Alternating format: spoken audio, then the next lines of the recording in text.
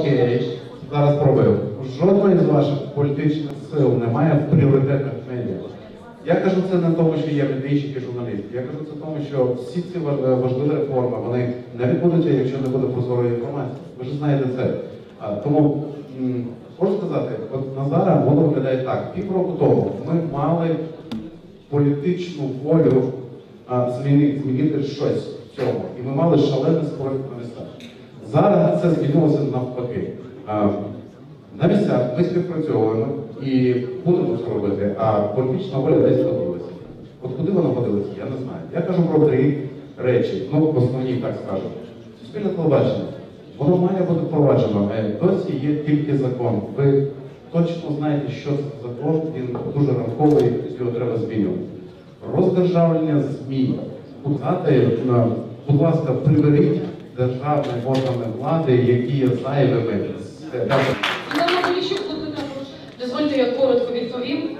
Юлія Мостова в дзеркалі тижні написала, що ложа преси обвалилася в Верховну залу. Мені здається, це звичайно можна сумувати за цим, але це в тому числі запорука того, що свобода слова і медіареформа буде пріоритетом. Я хочу зауважити, що ті журналісти, які сьогодні ми мали розмову про те, що в нас є на порядку денному серед медіареформ. Прозорість медіа, владнання ЗМІ, це зміна, е, зокрема, кримінального кодексу, е, в тому числі, це є в наших пріоритетах. Ми підтримуємо зв'язок для того, щоб зсередини продовжувати цю реформу. Водночас наголошую, що ми обов'язково делегуємо від нас людину в комітет свободи слова. Більше того, ми будемо вболівати за те, щоб один з журналістів, який сьогодні балотується, очолив можливо цей комітет для того, щоб мати е, достатньо політичної волі, повноважень, е, ресурсів Законом з нового року, якщо я не помиляюся, має запрацювати громадське телебачення. Чи вам дали обіцянку, що це відбудеться? Окрім того, що є січня, ще має бути прийнято цілу низку нормативних актів і змін до законопроекту для того, щоб він почав запрацю- е, працювати. Більше того, почнуть мають запрацювати механізми для того, щоб суспільне мовлення перетворилося чи то підприємство, чи в інші форми е, господарювання, для того, щоб змогти просто працювати. Більше того, є я от поїздила в регіонах, є колосальний спротив на місцях ОДТРК щодо переходу в, цю нову реальність. Тому треба зараз підтримувати в тому числі комунікацію і співпрацю з усіма регіональними е, ОДТРК для того, щоб це реально е, реалізувати. Тому що закон прийнятий, але імплементація це велике велике поки що тобто завдання. без тих інших законів це не запрацює, так? А рада збирається в 10-х числах грудня, так? Тобто виходить, що з нового року Ні, ні, він запрацює водночас. Цей процес потребує ще цілих змін та нормативних актів для того, щоб покращити цей процес і зробити його ефективнішим. зрозуміло. Зурав, а я от хочу дізнатися, от буде з нового року громадське телебачення? Чи ні? Суспільне так, вивіска буде. буде? Вивіска буде. Зрозуміло. Ви- Решта те, що сказала Світлана. Я зрозуміла. Так, будь ласка. Буквально. Батьківщина. Так, Альона Шкру, батьківщина. Тобто ви сказали про те, що немає в пріоритетах жодної політичної сили, от саме цього питання. Для нас це дуже важливо. У нас є дуже досить відомий політик і людина, яка починала свою кар'єру журналістики Андрій Шевченко. Він це записав в топ 5 пріоритетів батьківщини. Він починав як розробляти цей закон. Це його дитина. І для нас це дійсно дуже важливо. Починав це робити своїми руками насправді. Свого часу, але не пише. Так, тому на жаль, його сьогодні немає тут, але над цим працювати. Я як юрист долучуся просто і навіть краще. Дякую вам. Е, Я візуального контакту не маю з тими людьми, хто хоче поставити питання. Так, будь. Можна, можна ще просто додати, Е, ну, Так, так. Так? Так, додати. А Ганна Гопковс. Да, я хотів просто додати, що насправді медіареформа має початися з того, що президент має перестати бути власником п'ятого каналу. От я думаю, що медіа, от і всі ті решта, про що ви говорили, реанімаційний пакет самого початку підтримав. Тут Тарас Шевченко сидить.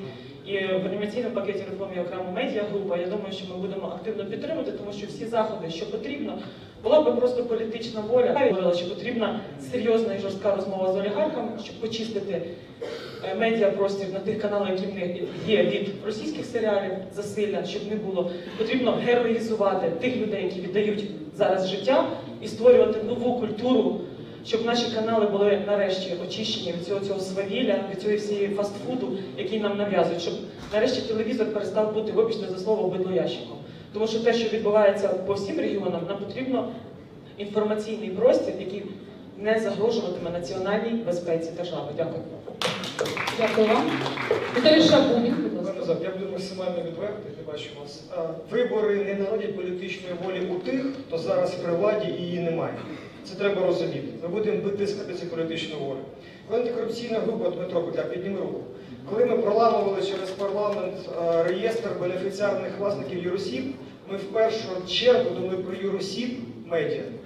Тобто перший крок вже зроблено. Дякую. Е, Тобто вони ви вважаєте, що вони будуть розкриті, так? Е, Нормативно 80% зроблено. Зараз Так. питання виключно за виконавчою владою. Зрозуміло. Так, будь ласка. Я також буду дуже короткий. Е, Абсолютно згоден з вами і розповім більше. Жодна реформа, якщо вона не відбувається в тоталітарній державі, потребує дуже зваженої і інформаційної політики держави. Тобто треба говорити не лише про прозорість медіа, треба говорити ще й про побудову спеціальної політики інформаційної держави, щоб кожна людина розуміла суть реформи, яка впроваджується, бо буде важко.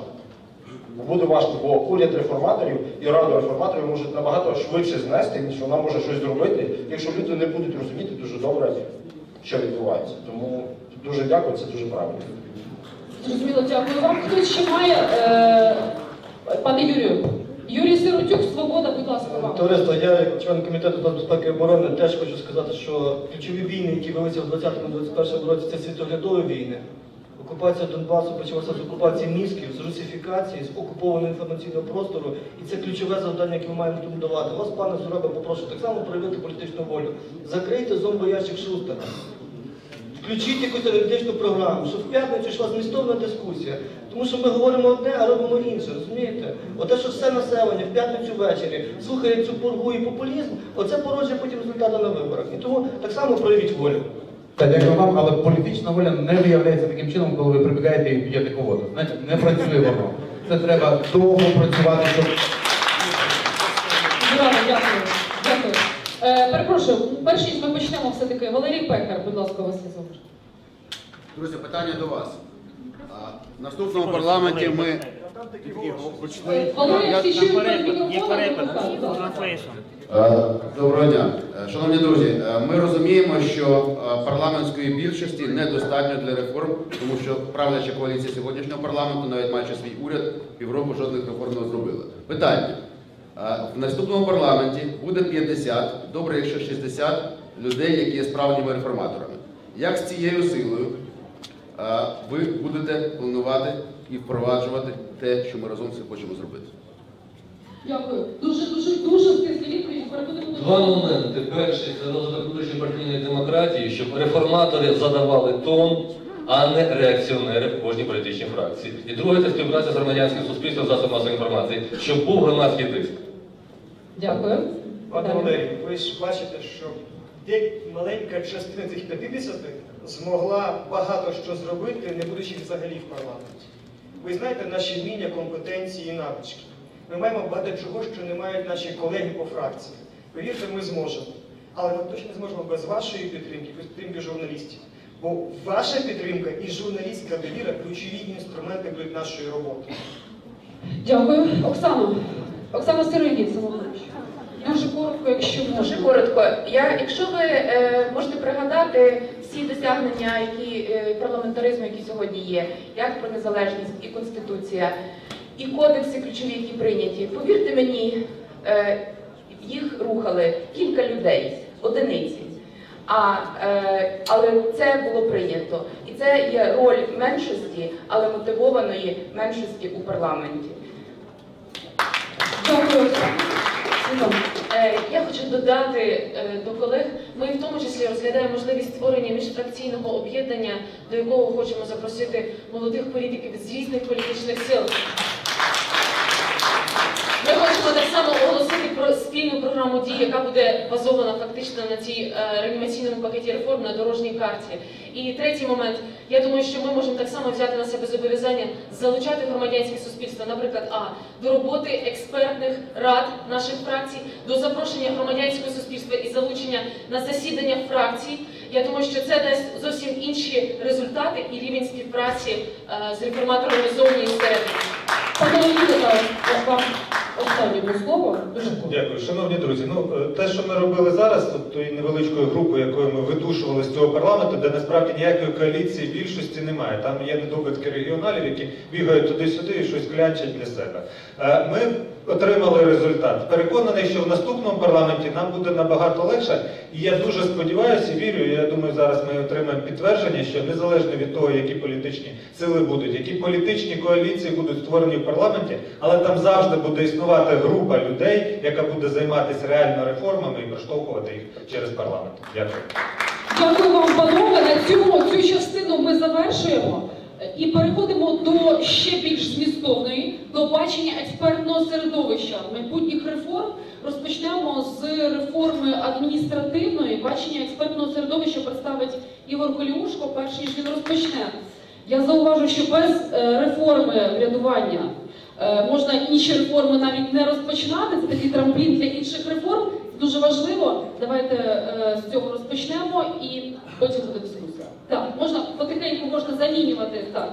Політики можуть займати місця в залі, а експерти місця на трибуні. Е, будь ласка, ви з вами можете сідати. Будь ласка, як вам зручно? Ви будете представляти слайди, так? Казали, що будуть. Е, Обов'язково будуть. Ігор Холіушко, експерт РПР, директор Центру політико-правових реформ. Ласка. Дякую. Е, Добрий день всім. Е, Я вибачаю, що я не був з самого початку, не зовсім тут добре орієнтуюся, що відбувається. Але е, власне те, що, те, що треба сказати, я постараюсь сказати. Конституційна і адміністративна реформа, включаючи реформу децентралізації, є дійсно надзвичайно важливими на цьому етапі, тому що від їх успішності залежить е, ефективність проведення всіх інших реформ. Я, я власне сидів, сидів, дивився, згадував, як ми е, в лютому цього року, в кінці лютого, збиралися в складі Ради Майдану і обговорювали формування уряду. І коли я тоді говорив про те, що давайте почнемо дискусію з того, як має бути організований уряд, як він має працювати всередині, а потім, потім вийдемо на те, хто є оптимальними кандидатурами на посади міністрів, то, на жаль, не буду називати прізвищ, але багато учасників тої розмови сказали, ні, ні, нема часу, нам треба швиденько, швиденько поділити посади, а ми потім зразу ж першим ділом, це були слова теперішнього прем'єр-міністра, Е, Першим ділом ми створимо робочу групу, яка підготує адміністративну реформу і швиденько все реформуємо. Ну, сьогодні ми стоїмо на, на, напередодні парламентських виборів, хоч і дострокових, але все-таки пройшло вже багато часу. Ця робоча група досі не створена в Верховній Раді, перепрошую, в Кабінеті міністрів. І е, фактично ми можемо сьогодні подивитися вже на піврічний досвід, як е, вдалося щось реалізувати тим, хто прийшов на міністерські посади з Майдану, хто прийшов з науки, хто прийшов з інших е, речей, е, сфер діяльності. Ті, хто нам здавалися новими обличчями, але сьогодні ми фактично не бачимо тих результатів, на які ми сподівалися. Чому? Та власне тому, що система організації нашої влади не створена для е, впровадження реформ. Вона створена для обслуговування е, приватних, на жаль, частіше інтересів політичної еліти і олігархату, який є в нашій країні. І дуже часто ці е, е, цілі виявляються несумісними між собою. Інколи здається, що ну, скажімо, це всього-навсього автомобіль. Можна сісти, поїхати на захід, можна сісти в нього, поїхати на схід. Але виявляється, що уряд і організація нашої влади це не зовсім така система, на якій можна ефективно їхати і на захід, і на схід. Тому ці реформи є пріоритетними. Е, так, і що тут, і що тут є? Е, власне, що стосується конституційної реформи, я не буду власне переказувати зміст, я зупинюся лише на двох моментах. Значить, в конституційній реформі принципово важливо, щоб влада припинила грати суспільством в темну. Конституційна реформа буде успішною тільки тоді, коли громадяни відчуватимуть свою приналежність до підготовки і проведення цієї реформи. І тому е, я не знаю, чи є тут ще залиш, чи залишилися представники особливо блоку е, Петра Порошенка. Є, є, є, Я, є я, б хотів, я, я б хотів, щоб ви донесли е, до е, пана президента, щоб він нарешті розсекретив свого таємного писаря, хто пише йому е, ці всі речі, і щоб він, і цей писар, і всі інші е, е, відповідальні особи почали спілкуватися з громадянами, з експертами, з науковцями. Тільки тоді ми можемо отримати якісно підготовлену конституційну реформу. Інакше ми ризикуємо знову повторити те саме, що вже було. Реформа в інтересах тих, хто сьогодні перебуває при владі, а завтра вони зміняться, стануть опозицією і самі ж будуть подавати конституційне подання про визнання її неконституційною. Це ми вже пережили один раз, і поки що, на жаль, не, не видно, що всі політики зробили е, висновки з цього. І друга е, річ, яку е, я хочу ну, особливо наголосити, це те, що після парламентських виборів будуть, е, буде формування нового уряду. Формування нового уряду це той ключовий момент, коли можна якісно змінити організацію роботи уряду. Після того, як прийдуть е, люди, сядуть на, на крісла з якимись своїми уявленнями, змінити ці уявлення буде вже неможливо. Нам прийдеться знову чекати нового, е, нових парламентських виборів і нової е, ситуації щодо формування уряду. Тому сьогодні треба докласти всіх зусиль для того, щоб всі лідери партій, які проходять у парламент, е, почали вже сьогодні осмислювати е, і думати, які нові тенденції у формуванні уряду вони мають закласти. Е, Щоб почалися консультації, і знову ж таки тут багато залежить від президента. Не тільки тому, що його політична сила має шанс бути найбільшою у парламенті, а й тому, що саме президент, як інститут влади, е, має ту властивість, що він може відігравати роль модератора в дискусії міжфракційній щодо формування урядової коаліції в парламенті. Якщо в цих розмовах, в цих дискусіях не будуть закладені нові підходи, ще раз повторюю, ми знову будемо е, довго, багато місяців, а то й років, знову нарікати, що в нас не виходять реформи. Якими мають бути ці нові підходи? Уряд повинен бути зорієнтований на е, формування і втілення в життя політики реформ.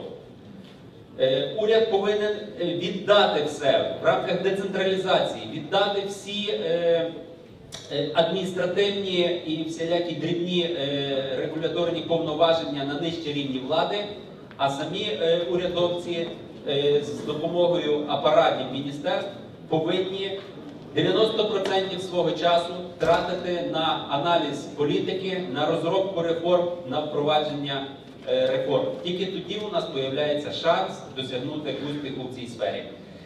Ну, мені е, пропонували ще згадати власне про необхідність електронного урядування. Десь там є відповідний слайд. слайд. Децентралізацію я згадав.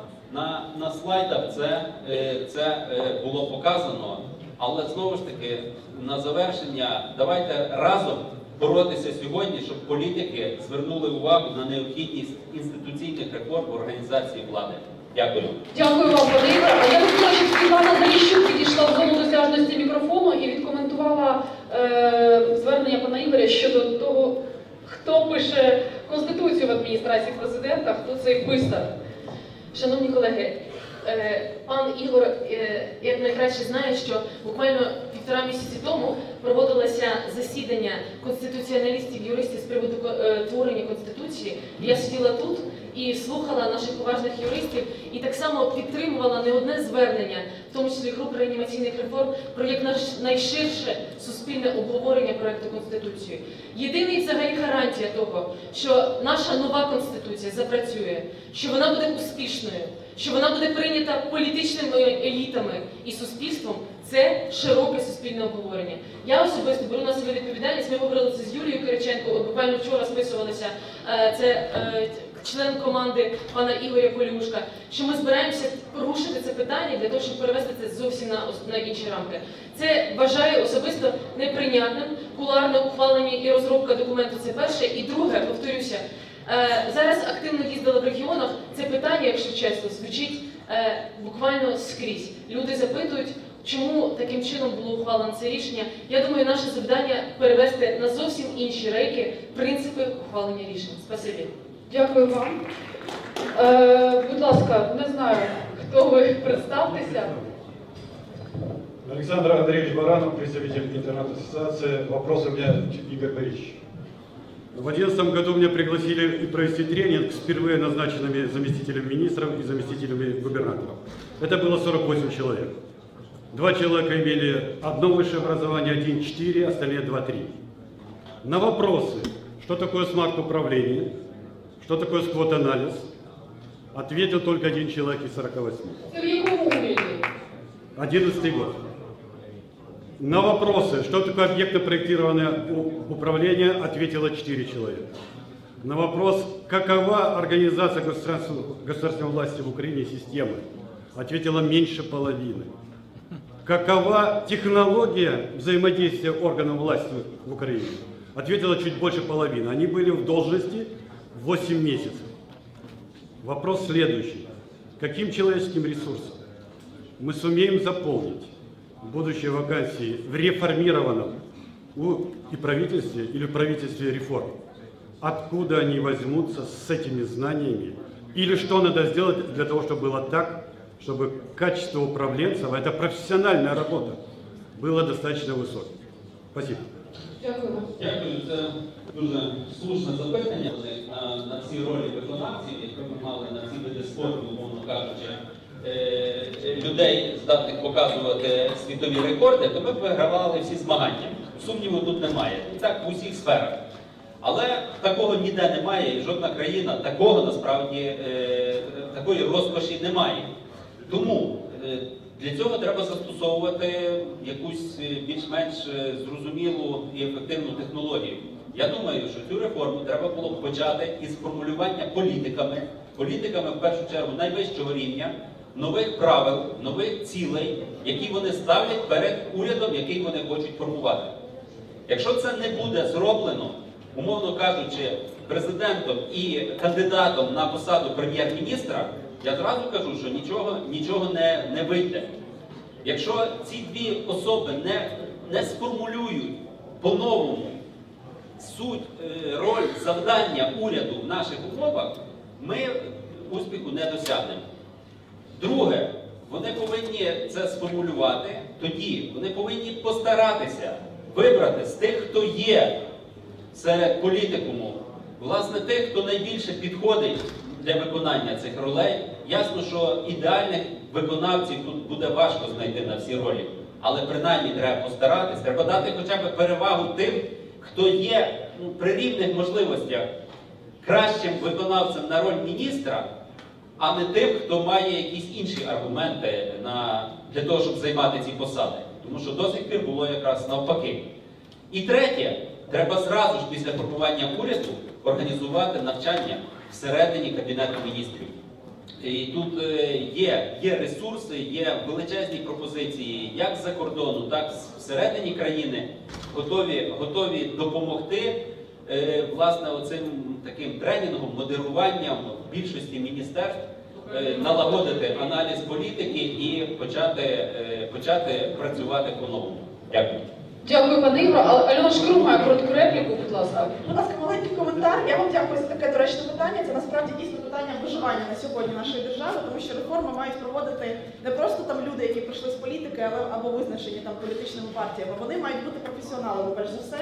Я тут представляю не тільки партію Батьківщина, я також є учасником асоціації українців, випускників закордонних вузів професійний уряд. Ще задовго до, до цієї до старту цієї політичної кампанії, до місяців п'ять назад, ми написали відкриті листи усім політичним силам, прем'єр-міністру, президенту, пану Кличко, з проханням зробити такий відкритий конкурс на посади держслужбовців, на посади хоча б заступників міністрів, якщо вони вважають, що міністри це політичні посади, хоча ми впевнені, що міністри теж мають бути професіоналами, але хоча б на посади всіх заступників міністрів, на голови департаментів, на інші керівні посади органів центральної виконавчої влади і органів виконавчої влади на місцях. Ми пропонуємо відкритий конкурс за відкритими критеріями, так як це робиться в інших державах. І зараз ми в тому числі почали з себе, як ілюстрацію батьківщина все таки почала себе. Так ми, молоді члени батьківщини, я та пан та пан Олексій Рябчин, дев'ятий номер. Ми запропонували, вимагали, просили і зробили в партії Батьківщина зараз перший відкритий конкурс, який називається Майбутні урядовці. Тобто за відкритим конкурсом до нас подаються люди з усієї України. Це мають бути українці, це мають бути українці з профільною вищою освітою, з досвідом роботи, з баченням реформ. Цей конкурс вже є на сайті і там на інших джерелах, і фактично відбирає його незалежне журі, в тому числі був перший відбір 14 числа. І ми дуже вдячні реанімаційному пакету реформ. Ми запросили від них координатора і був в незалежному журі також координатор реанімаційного пакету реформ. Ми зараз відібрали перші чотири людини, е, експерти з чотирьох галузів, і будемо відбирати всіх інших, щоб потім батьківщина, як від себе, пропонувала їх на інші керівні посади, виконавчу владу, якщо буде така можливість, в комітети Верховної Ради, в секретаріат комітетів, в органи на місцях. Тобто це мають бути професіонали, які мають конкретне бачення реформ. І ми дуже просимо і закликаємо всі політичні сили почати хоча б з такого маленького, тому що дійсно не буде єдиного кадрового резерву, але кожна політична сила може мати вже свій. Дякую. У вас три хвилини Од- залишилося. од- Одну ще репліку. Е, Це добрий, добрий приклад такої ініціативи. Єдине, як порадив, по-перше, е, всі партії, це, це правило в демократичному суспільстві, всі партії повинні мати тіньові кабінети міністрів. Не розказувати про те, що ми не знаємо, яка буде конфігурація коаліції. Це зовсім інше питання. Кожна партія повинна, це форма міністрів, який повинен щоденно працювати, коли партія перебуває в опозиції. Е, Це перше. І друге, е, звичайно, що я забув наголосити, що для того, щоб все це також впровадилося е, разом із формуванням нового кабінету міністрів, новообрана Верховна Рада мала би серйозно змінити закон про кабінет міністрів, закон про центральні органи виконавчої влади. Ми підготуємо пропозиції для Верховної Ради, і звичайно хочеться, щоб політики також брали участь в підготовці цих пропозицій, їх доопрацюванні і ухвалили ці зміни до законів. Е, Пане Юрію, Юрій Сирочук, Свобода, будь ласка, репліка. Е, репліку. Ми десь рік назад, коли прийшов парламент, вирішили створити уряд національної альтернативи, зробили його, розпіарити не змогли. Але з прем'єр-міністром уряду став віце-прем'єром нинішнього уряду. Тому всі міністри, які були, ми їх пропонували на посаду, тому що ми це зробили тільки не піарили. Щодо Конституції, то ми поділяємо необхідність конституційної реформи. На жаль, ми ще в 2008 році київські конституціоналісти Національного університету Шевченка написала проект Конституції Свободи, але ми так і не отримали. Наприклад, пропонуємо скоротити 300 до 300 депутатів. Це можна зробити тільки в Конституції. Окупаційні символи можна зробити змінити тільки в Конституції. Тому що та Дніпропетровська область, організатор Голодомору Петровський, вона буде, поки не змінимо Конституції. І нам не дуже подобаються пропозиції президента, зокрема щодо, щодо скасування обов'язку народного депутата входити до складу депутатської фракції, тобто щоб обиралися за одними списками і потім виходили з фракції, ми проти цього. І ми проти надання місцевим радам, районним обласним право надавати спеціальний статус російської мови. Це ті речі, проти яких ми будемо в цій конституційній комісії. Дякую. А ви можете е, відкоментувати пропозицію свободи коротко? Ні, ну, Щодо Звичайно, звичайно, це, це добре, коли кожна партія має свої пропозиції щодо конституційної реформи. Е, Це, е, скажімо так, той початковий крок, з якого треба починати діалог. Але далі має відбуватися діалог. Я пам'ятаю, багато проводилось з вашими пропозиціями. Е, Тому треба ходити, треба зустрічатись, треба відстоювати свої позиції. Я можу називати свої аргументи проти ваших деяких ініціатив, тому числі проти скорочення кількості е, депутатів Верховної Ради. Але це вже фахова розмова, я думаю, за рамками цього сьогоднішньої зустрічі. Зрозуміло, дякую вам. У нас залишається буквально вже в нас закінчився насправді час. Переходимо до наступної дискусії про реформу, яка має встановити в державі справедливість. Йдеться про реформу судів, прокуратури е, і міліції. Олексій Хмара, експерт групи РПР з питання антикорупційної реформи, виконавчий директор Transparency International України. Запрошую вас. Дякую, пані Тетяна. Вітаю вас, колеги. Тут є таймер, скільки мені можна говорити з вами. Ви знаєте, по тому, скільки місць звільнилося в залі, я добре бачу, кому реально потрібні реформи. Дякую, що ви з нами, друзі. Я так розумію. Я так розумію, що сьогодні буде Савік Шустер ввечері, правда? І можливо хтось тут присутній туди піде. І от ці два слова там будуть під час обговорювати. Доброчесність, правосуддя, правопорядок. Взагалі це модні слова всього політичного сезону останніх 10 років. Всі про них говорять, але ситуація продовжує залишатися от такою. Покажіть, будь ласка, наступний слайд. Це українська реальність. Можливо, хтось себе впізнав. І власне мені дуже прикро, що е, корумповані суди, прокуратура, невільна преса і, по суті, безправні громадяни обмінюються на таку стопочку золотих батонів. І зрештою, все правосуддя закінчиться тим, у кого батон більше або важчий. Я хотів би запропонувати нам з вами, друзі, маленький рецепт, як це можна змінити. І змінити це можна насправді український парламент. Прошу наступний слайд. Справа в тому, що в сфері антикорупції ми ніби як уже постаралися. На Покрову прийняли велику кількість антикорупційних законів. Я всім вдячний, хто за них голосував з теперішнього парламенту. Я вдячний всім, хто готовий далі розвивати цю реформу з майбутнього парламенту. Особливо подяка РПР за те, що ми це зробили, друзі. Але питання у мене таке: що ж робити з цим далі, аби запрацювало? Треба гроші. Нам потрібно закласти гроші на це в бюджеті країни на 2015 рік. І це пряма відповідальність нового парламенту. І я дуже сподіваюся, що в грудні вони насправді цей бюджет ухвалять і там будуть гроші на всі антикорупційні органи. Наступна дуже важлива річ це обмеження впливу капіталу приватного на політичне життя. Ми говоримо про прозорість політичної партії.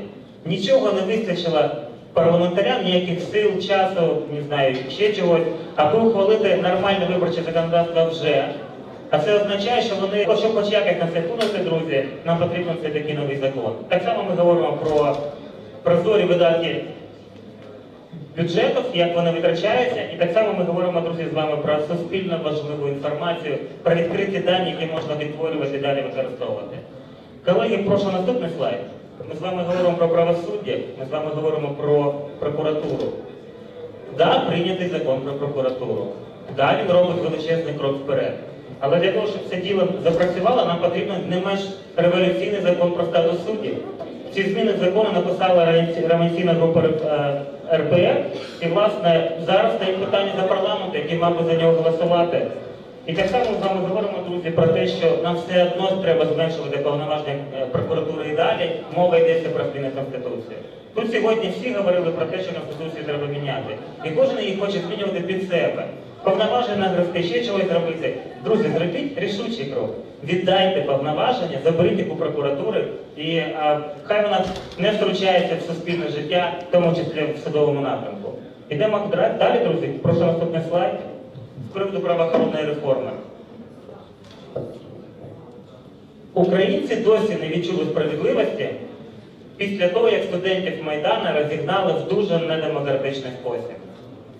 І вся українська владна машина, яка, на яку ми так нарікали за часів Януковича, продовжує покривати міліціонерів, які били і вбивали українців. І власне для того, щоб це хоч якось змінити, нам потрібен новий закон про поліцію і політичну діяльність, і поліцейську діяльність. А так само нам потрібно удосконалити кримінальний кодекс для того, щоб журналісти, оператори і інші люди медійних професій мали реальний захист. І буквально останній слайд, друзі, я попрошу вашої уваги. Прошу наступний слайд. Останній. Не дають? Останній слайд можна? Дякую дуже. Це про медійну реформу. Нами сьогодні пан Журавль сказав багато про це. Я просто доповню його двома речами. Для того, щоб це діло запрацювало, нам потрібно, щоб парламент контролював виконання про суспільне мовлення. Він створений як закон, але поки що всі якось про нього призабули. На фоні міфарії зайнялися іншими клепаннями інших законів і не контролюють те, що вже працює в державі, те, що вже ухвалено. І наступні дві речі, які нам потрібно сьогодні з вами друзі, це реформування або вірніть назад, будь ласка, роздержавлення засобів масової інформації. Для цього є підготовлений спеціальний закон. І так само нам потрібно, друзі, ліквідувати національну комісію а, з питань захисту суспільної моралі. Чому? Я думаю, тут присутні люди прекрасно це розуміють. І зараз, я сподіваюся, в мене є змога з вами поспілкуватися хвилин 10 про те, чому це треба робити і як саме. Якщо будуть питання по суті цих реформ, з радістю готовий відповісти. Так, будь ласка, і я закликаю всіх теж ставити питання по суті цих реформ. Будь ласка, в нас є 10 хвилин на обговорення, трішки менше. Е, не бачу в залі. Оце. Будь ласка, так. Представтеся. Почекайте. Соколов Михаил, Всеукраинская аграрная рада. У меня вот такой вопрос. Соколов Михаил, Всеукраинская аграрная рада. Ну, простите, я не хочу его съесть. А, Знаете, про судебную реформу давно говорят, а, и все время встает вопрос, а, а что, собственно, необходимо сделать для того, чтобы суды, с одной стороны, были независимы, а с другой стороны, скажем так, не потеряли связь с реальностью и не превратились в самозамкнутую систему, которая преследует свои интересы, не общественные. То есть какие механизмы обратной связи вы хотите заложить в ту систему, которую вы предлагаете построить? В чем концепция вашей судебной реформы? Дякую, це дуже просто п'ять простих речей. Перше, судді мають обиратися на конкурсних засадах. Зараз це ніби запропоновано, але реально є ціла купа технічних і інших речей, як це піти. Ми пропонуємо можливість все-таки це робити реально незалежно. Другий момент, ми говоримо про те, що правосуддя в тому числі має стати електронним. Тому що коли є ручний розподіл справ і суддя весь час зайнятий, то дуже легко ним маніпулювати. Третя річ, ми говоримо про те, що е, суддівські трохи студентське самоврядування, насправді неможливо без грошей. Суди повинні стати активними учасниками розподілу бюджетних коштів, і має нас з'явитися багато ну, розпорядників бюджету. Це, до речі, теж передбачає закон. Наступні дві речі це ми говоримо про максимальну доброчесність суддів. Сьогодні у нас є дві догани, звільнили з посади, бо там почалися проблеми. А нам потрібна ціла лінійка покарань, не обов'язково тільки ну, догани, комісії з етики, багато чого іншого. І нам, власне, потрібна більш чітка процедура притягнення до відповідальності, і водночас чітка процедура захисту своїх прав суддів. І п'ятий крок, який треба зробити, це дати можливість судді, що приходить який-небудь Татьков із Верховного господарського суду і скуповує собі голосичні Дякую. Олексій Гонч- Гончарук, сила людей має, має репліку щодо цього. І, будь ласка, перш ніж ви почнете, е, заздалегідь маякуйте мені, щоб я вам передавала мікрофони. Ну, е, люди, які хочуть поставити питання в залі. Щоб просто я вас заздалегідь бачила. Ну, знаходьте зі мною якийсь візуальний контакт, щоб вам передали мікрофон. Дякую. Е, В мене власне питання, не репліка. Е, Ви знаєте, абсолютно точно, що для того, щоб досягнути такого серйозного результату, потрібно іноді приймати сміливі рішення. Зараз в середовищі серед людей дискутується тема е, в контексті судової реформи е, щодо можливості зміни порядку і суті оскарження судових рішень. Як ви ставитеся до того, щоб суддя, який ухвалює рішення в першій інстанції, захищав його самостійно в апеляційній інстанції?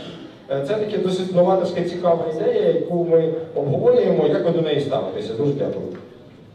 Я персонально думаю, що це цікава думка. От її можна розглядати. Але ми, як спільнота реформаторів, поки що не готові дати відповідь. Не через те, що не знаємо, це добре чи погано.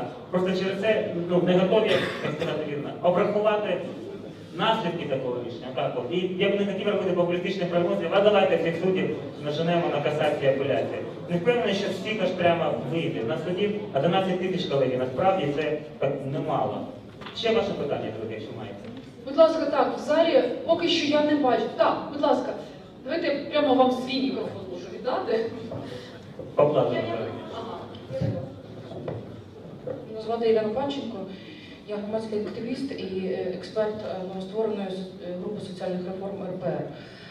У мене таке питання: чи розглядаєте ви можливість повернутися, ну паралельно йдучи з реформою децентралізації влади? Таку опцію децентралізації судової влади це коли ну те, що застосовується в Німеччині і в деяких країнах, коли на місцевому рівні є місцеві судді, які в Радянському Союзі було трошечки не так, але вони називалися народні судді, судді які обиралися а, спільнотою, громадою. Це е, люди, які мають певний суспільний авторитет в громаді, і яким громада довіряє певну репутацію, яким громада довіряє внаслідок і їх е, освіти, їх фаху, і, скажімо, їхніх цінностей, довіряє правосуддя на місцях. Які ваше, яке ваше ставлення до такої? Почув вас. Зараз це називається мирові студії. Якщо можна, верніть назад мікрофон. Ну, Там є пан Роман Куйбіда, я йому просто мікрофон від- попрошу передати. Він прокоментує, що він думає про мирових суддів, чи доречно це робити зараз в Україні. Е, Це робити доречно, але це можна зробити тільки через зміни до Конституції, оскільки система судів на сьогоднішній день вичерпно визначена Конституцією, там мирових суддів не передбачено. Але ідея ця є, і вона в наших е, пропозиціях щодо змін до Конституції вона цілком реалізована. Дякую.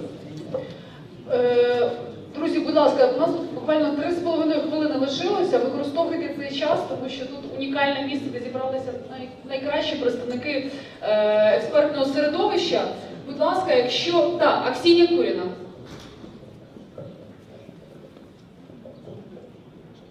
Я просто хотела хотела дополнить и сказать, что вот по поводу к- ликвидации комиссии по защите общественной морали. Украинскому бюджету она стоит в этом году 4 миллиона гривен.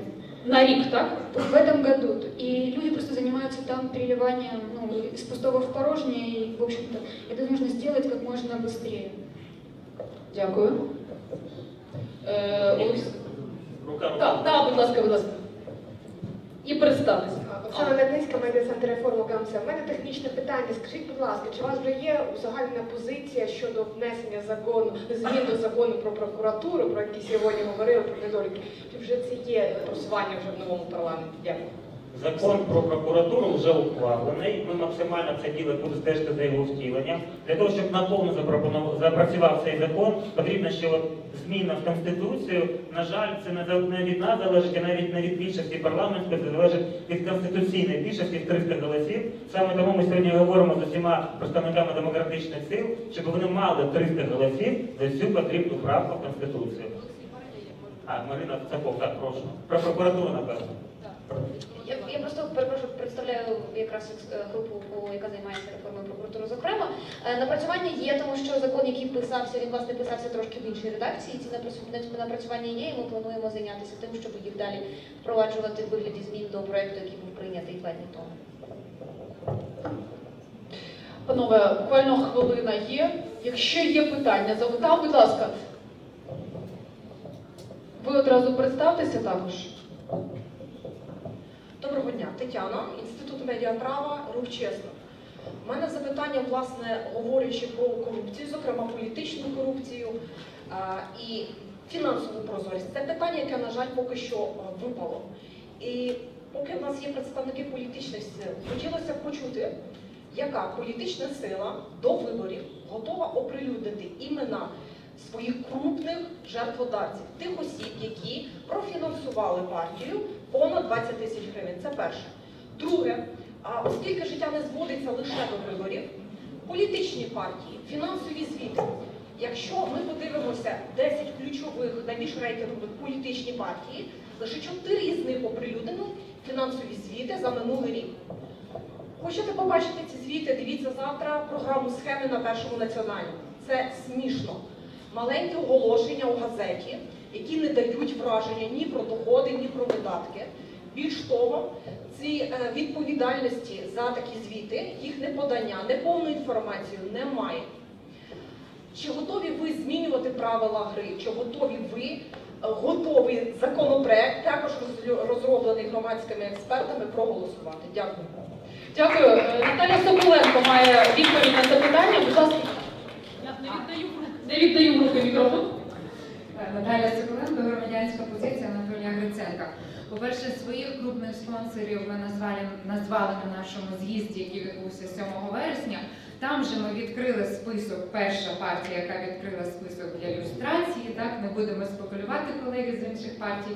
Я назву ці прізвища, вони надруковані, неодноразово нам називались на кожній зустрічі з виборцями. А, це тільки ми, так не називати. А і до речі, звіт партійної бухгалтерії громадянської позиції. Ну, як ви знаєте, я в партії Демократичний Альянс. У нас з цим теж все гаразд. Громадянська позиція подала вам звіт за подала вам звіт за так.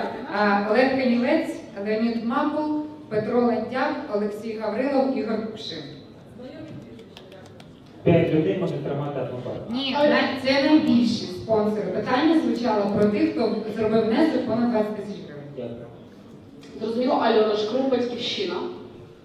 А, Дякую за ваше питання. Ми це питання задали, коли нам от запропонували йти да, до запартійними списками. Ми одразу це питання запитали. Зараз батьківщина є тією політичною силою, яка по-перше оприлюднила одна з чотирьох, мені здається, яка оприлюднила свої звіти. Одна з п'яти чи шести, яка ну надала. а, Відомі джерела застави для участі у виборах, да? і 21-го, якщо я не помиляюся, ця дата визначена не нами, а рухом чесно. Вона відкриє своїх от найбільших спонсорів. А, На, на сайті Батьківщини там є звіт за попередній рік. Я це обов'язково ще раз перевірю. Наскільки я знаю, там чотири, там чотири тільки імені. Ви їх знаєте, можете назвати ці прізвища? Я їх, на жаль, зараз не знаю, я не є членом партії, і от ми вимагаємо, щоб зараз це було зроблено 21 числа. Зрозуміло, дякую. Я дам пояснення. Мова йде про проміжний фінансовий звіт про надходження та використання коштів виборчого фонду. Тобто, щоб до дня голосування ми побачили, хто став спонсором передвиборчої кампанії. Це дуже коштовно. До 21 тобто наступного тижня ми до виборів хотіли побачити таку інформацію від усіх політичних сил. Мова йде про те, хто спонсорував таку коштовну річ, як вибори. Зараз, знаєте, от багато хто переводить вартість одного білборду в один бронежилет. Е, Світлана Заліщук позаду. Знала минулого року існувала солідарність, і в них е, в звіті по суті немає е, майна. Ми придали інформацію цього чесно. Друге, так само ми відкрили декларації автобіографії. Третє, був оприлюднений проміжний звіт відповідно до законодавства, яке є нині щодо проведення парламентських виборів. Е, Так само ми надали інформацію станом на здається позавчорашній день е, щодо витрачання коштів, щодо кількості коштів, щодо статтів е, витрат цієї кампанії. Е, Мені повідомив штаб, що було близько 400, більше 400 конкретних людей, фізичних осіб, які стали донорами, стали донорами цієї парламентської кампанії. Е, Це здебільшого члени партії. І незабаром всі ці прізвища будуть опубліковані.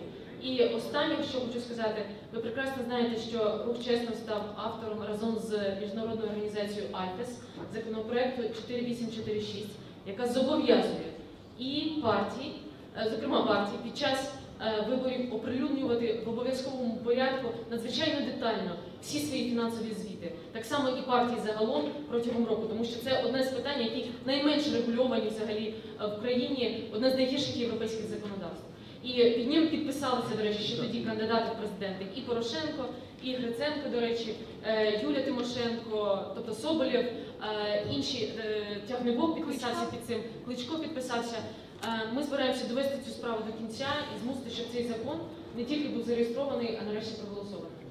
Дякую, Світлано. Є пропозиція на цьому антикорупційну частину завершувати, переходити до економічної, оскільки це дуже важливо е, для мешканців сіл, міст. Найважливіші реформи це ті, які можна помазати руками. Будь ласка, Олег Мацик, менеджер РПР з питань економічних реформ. Запрошую вас до слова. Доброго дня, шановні колеги, вітаю. Вітаю всіх тих представників політичних сил, що залишилися. Вітаю всіх моїх друзів і, все прогресивне середовище. Дійсно, економічні реформи, напевно, це е, базовий такий фундамент е, після наведення справедливості в нашій, е, країні. І в нашій дорожній карті є фактично охоплено економічні реформи. Це величезна кількість різноманітних напрямків, і це понад е, 10 законопроєктів, які вже зареєстровані, готові до прийняття в парламенті. Деякі з них вже не е, приймаються по, е, скажімо, по кілька років. Так ось, е, але ми е, в своєму е, в своїй доповіді за браком часу я ви- виокремив лише е, кілька напрямків і кілька дуже важливих реформ, які є актуальні, дуже близькі до прийняття і які е, призводять до взагалі радикальних змін в країні. Отже, е, дерегуляція. Наступний слайд. Наступний слайд. А, тут він трошки темний, ну нічого, ми побачимо. Дерегуляція економіки. Е, зараз дуже багато працюють в цьому напрямку, е, дуже багато різних організацій, зокрема е, група радників е, при Мінекономіки під керівництвом Даніла е, різноманітні організації, нова країна. Ми пропонуємо такий радикальний, революційний, кардинальний підхід в дерегуляції. Справа в тому, що ми не бачимо шансів дерегулювати економіку на існуючій законодавчій базі. Тому що за роки, по-перше, вона побудована на радянських стандартах, на плановій економіці, і настільки законодавство обросло величезною кількістю поправок законів, що це просто фізично неможливо зробити. І тому ми вважаємо, що необхідно скасувати дії положень 87 законів, законів України, Е, і це пропонується нашим законопроектом 4334 про зміну системи регулювання економіки. Яким чином? Одномоментна ліквідація через 365 днів після моменту е, опублікування. Е, з тим, щоб зобов'язати Кабмін протягом цього часу абсолютно на нових засадах е, нові е, прийняти законодавчі норми. Наступний склад. Тепер всім вже прожужжали вуха ефіри про 3G, і е, в нас був е, безпосередньо в групі пан Шимків, е, коли ще починалося е, коли РП взявся за це. І е, в цій ситуації нам вдалося е, спільно з адміністрацією розробити при- е, був е, введений дію указ президента про забезпечення умов для провадження сучасних телекомунікаційних технологій.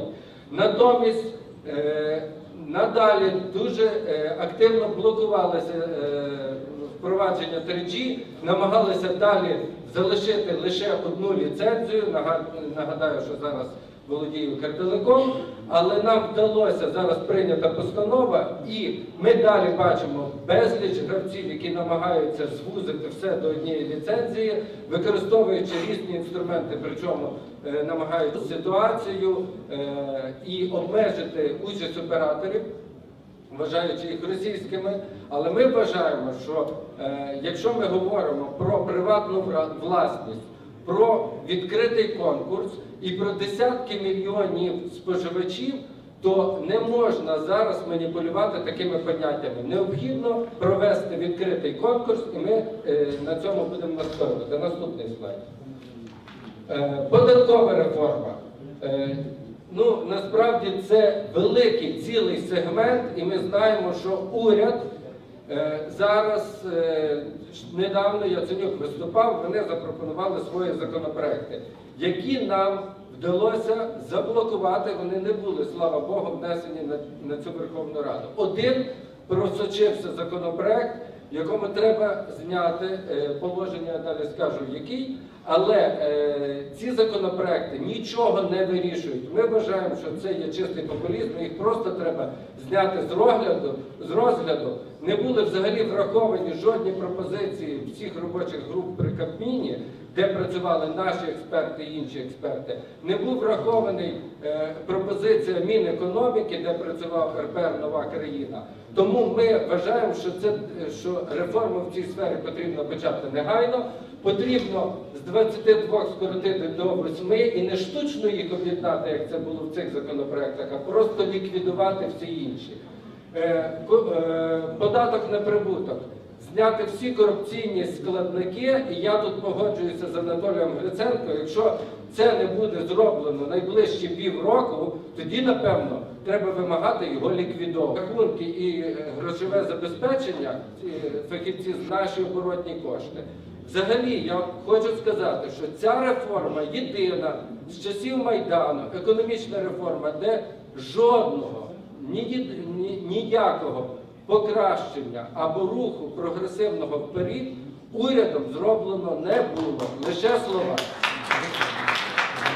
Тепер е, залишити єдиний податок, взагалі його зараз не рухати. Це не на часі.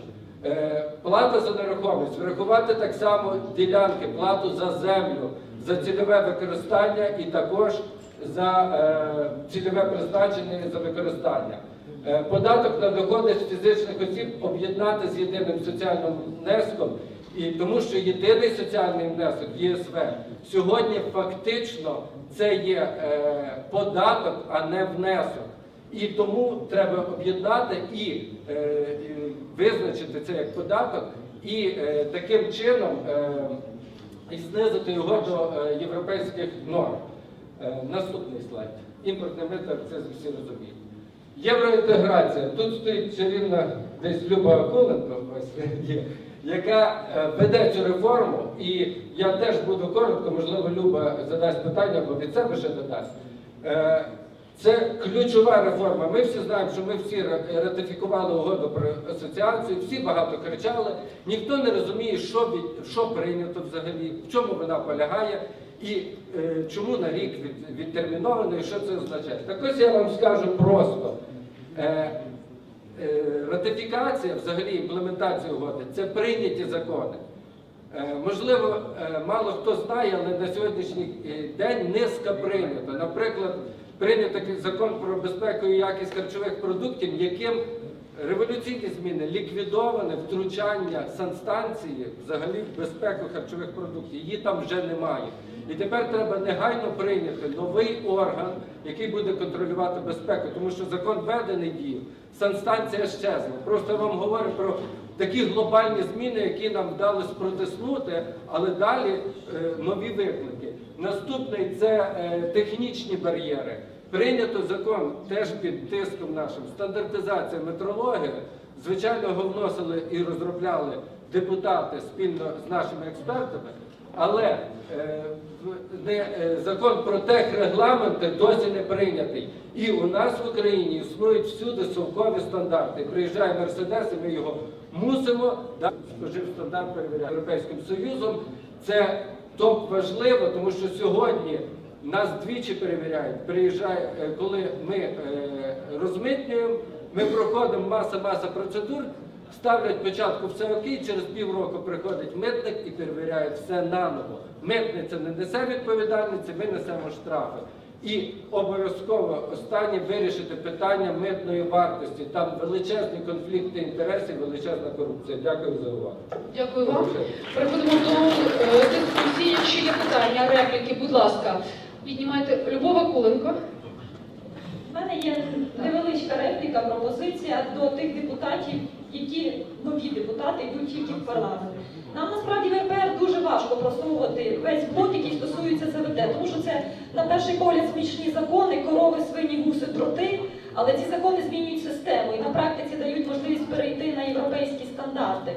У мене наступна пропозиція. Чи готові ви допомогти нам в тому, щоб комітет з європейської інтеграції у Верховній Раді зробити основним, щоб він став флагманом і давав зелене світло всім законам, які потрібні для виконання ЗВТ, щоб ви нам допомогли створити євроінтеграційний порядок денний для Верховної Ради. Зробите це?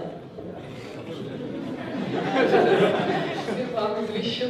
Мені доручили е, за всіх. Е, Я скажу, готові і зробимо. Е, Любов, а я хотіла Я, я додам, і нам буде легше це зробити, оскільки, на відміну від багатьох наших колег, не кажучи вже від багатьох депутатів, так склалося. Ми угоду читали. І разом з Любою Коленко з цього тексту на 2000 сторінок робили інфографіку, і тому прекрасно знаємо, власне, про що йде мова. І нам абсолютно не смішно, коли Люба говорить про рога, копита, свині, гуси. Ми також, Любочка, вважаємо, що це дуже-дуже серйозно. Любов, а в останній день е, було щось ухвалено щодо реклами? Я уточню, скажи коротко. Ні, ми добились того, що законопроект внесли в порядок денний, але зірвалась робота сесії. Все. Ми відкладаємо реформу в сфері промислових товарів фактично на рік. Наші підприємці не зможуть виходити. Якщо можливо в понеділок якось вдасться. Я чому скажу на рік, щоб розуміли, бо це дійсно на рік. Закони всі прийняті, держспоживстандарт ліквідований. Просто щоб зрозуміти. А техрегламентів норм немає. І реально е, це взагалі повний хаос. Тому цей третій законопроект топ важливий. Якщо він зараз а він може вступити лише через.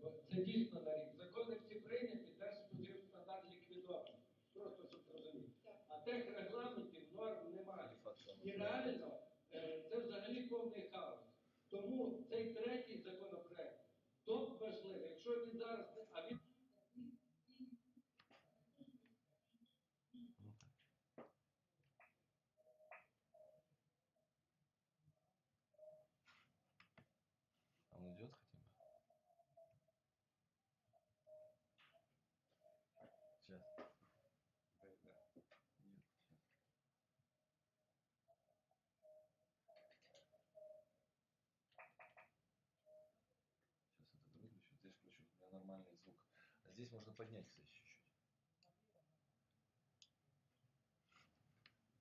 Ну-ка. Где он, блин? Ну где он? Блять, почему у меня, сука, блядь, не работает, когда мне надо?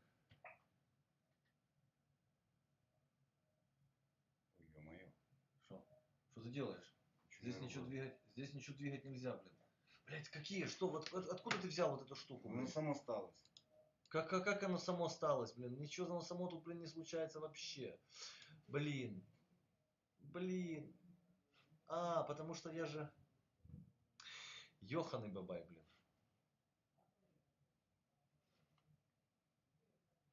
Было, конечно. Ну, блядь, эти все, эти вот все то штуки, то, что мы сейчас делаем, блин, это, это мы делаем просто, блин, пиздец кровавый, блин. Все уже. Выключаю я сейчас этот стрим, потому что иначе мы сейчас